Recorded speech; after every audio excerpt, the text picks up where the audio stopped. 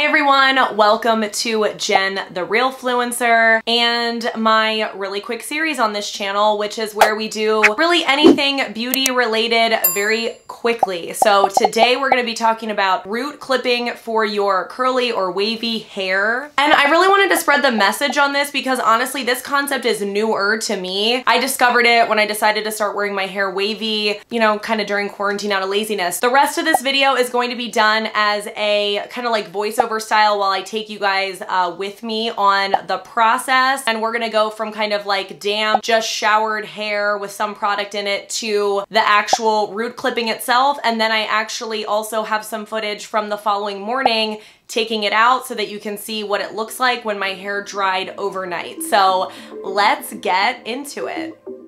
All right, so we got a close up here of the root clip. I just wanted you guys to see it. There's a lot of different ways you can do this, but I have found the best way for me, and I've tried several ways, is I like to go in from kind of behind versus front or side. I just take little sections, twirl them so that you can get the base closest to your scalp clipped probably the fastest versus just, you know, trying to grab a bunch and then it's all over the place. Because what you will find is if you don't do it kind of cleanly and neatly, if you will, the following morning your hair is all tangled. And there's really no rule to this. I just go essentially my whole kind of upper scalp where I want volume at the root is covered. And I probably could do the back of my head more. I also knew that I wasn't wearing my hair necessarily down the next day day. Keep that in mind. I mean, if you are wearing your hair down, you probably then don't want the back to just fall completely flat.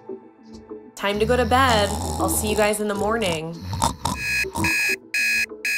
All right, good morning. I actually particularly liked the styling product that I use for my curls, so I'll make sure to link that for you as well. So as we are just pulling them out here, you can see that there's a good bit of volume that certainly otherwise wouldn't have been there had we not done the clips. And you know, clearly it's still a little bit messy. It needs to be styled or tamed or whatever, but the volume is there, which is really nice. And if you have curly or wavy hair, you know it's not necessarily a given at the root.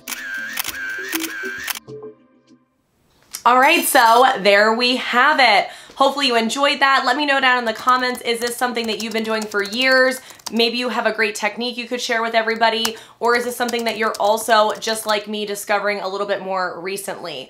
I would love if you would consider subscribing before you go so that you don't miss another one of my really quick beauty videos. And I will see you in the next one.